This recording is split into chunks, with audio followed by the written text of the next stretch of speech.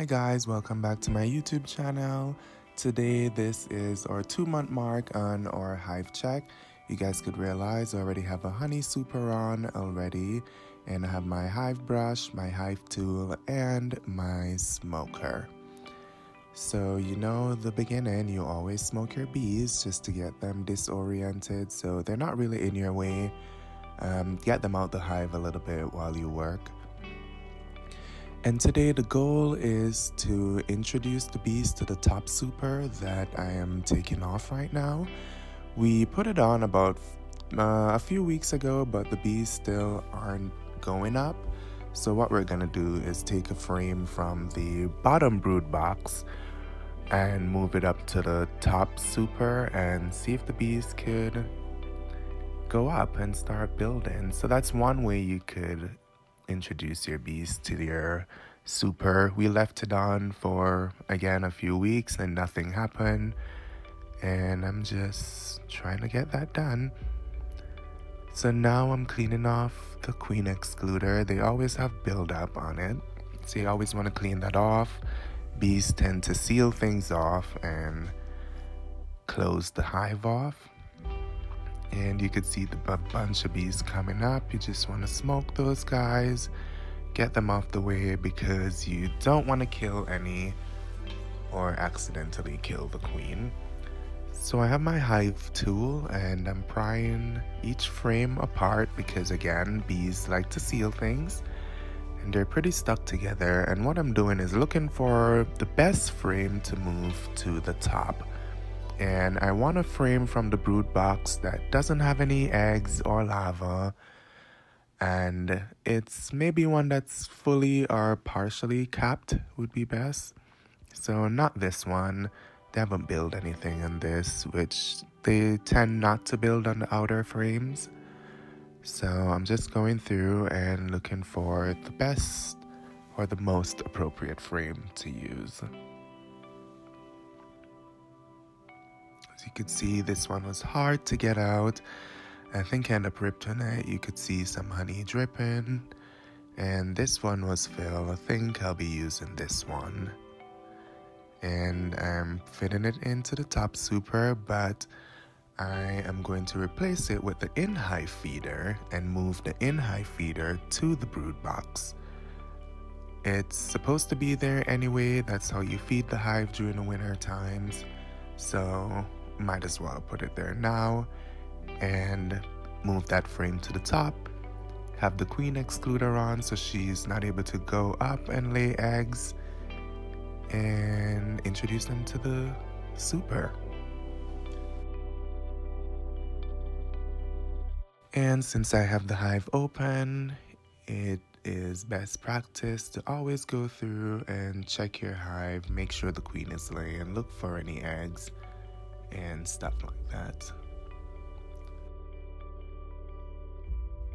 So you want to make sure and monitor each frame. Doing my looks for any buildup, any capped honey, any eggs, anything like that. Give them a little bit more smoke so they could get out the way. And I think by now most of the bees were already out the hive from the smoke previously. And this frame was pretty good, it has a lot on it.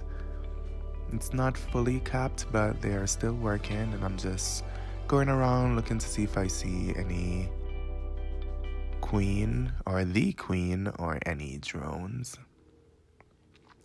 And look at all this honey.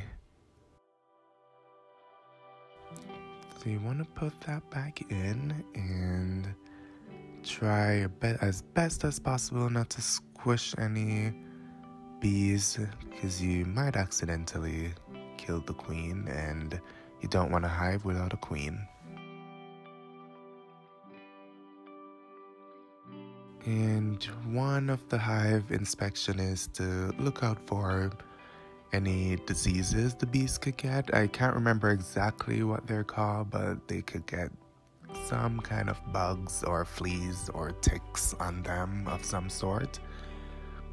So that's what I'm doing. I'm looking to see how many cells are capped looking to see how many larvae are in each cell and how many eggs.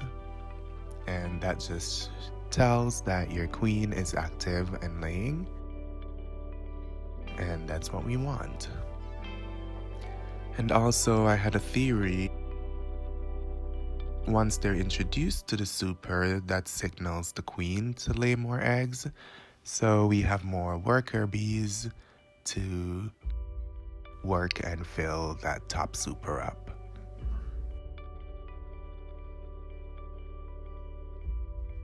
So I'm going through each one slowly, still searching for the queen. It's been two months and I've never seen her, but she's still alive. We have evidence of eggs, so we know she's alive. And just go through and do your observation with each frames. Our brood box has 10 frames, so I go through each one. And of course, the super that I have on top also has 10, so that's 20 frames. And in the near future, we're putting on another super, so that will be 30 frames. The best time is maybe midsummer. And like I said, they weren't fully aware of the super, they weren't doing anything. And today we are just trying to introduce them to the top super.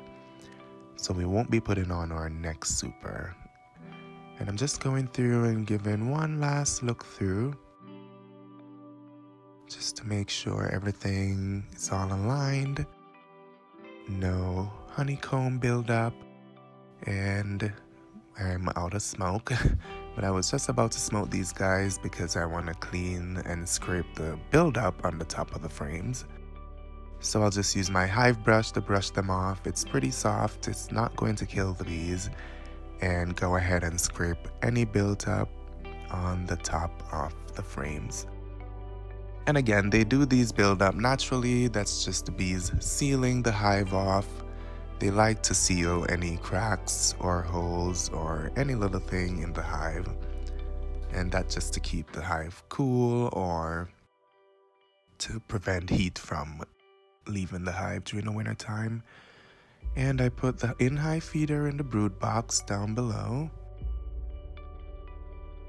and top it up with some sugar and water.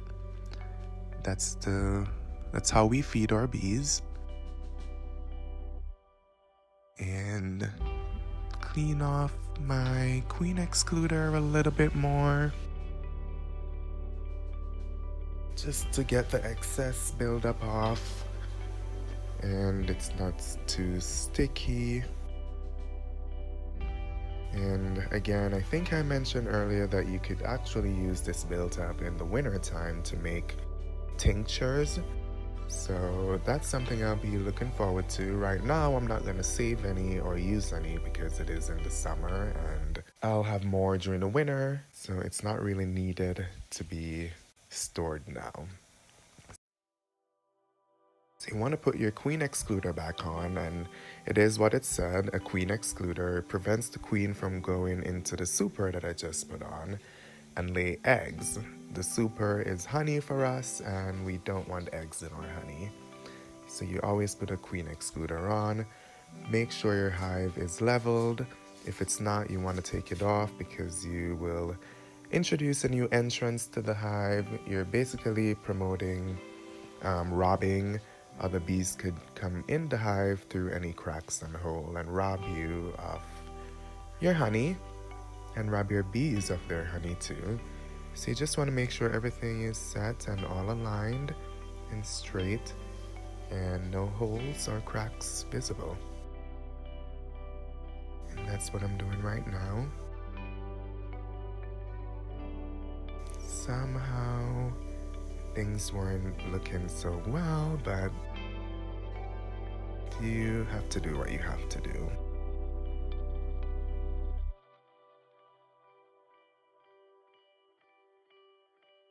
My phone has been in the sun.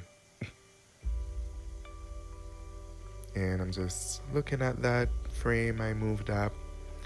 And just to make sure there's no eggs on this one before I put it in, you want to move it to the center. So that's what I'm doing right now.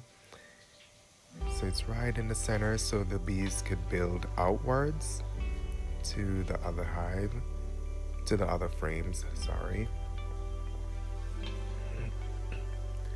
And then you just go ahead and do your finishing touches, close your hive, and that's it. I'm glad you guys were able to stay around. Thank you for watching, and see you guys next time.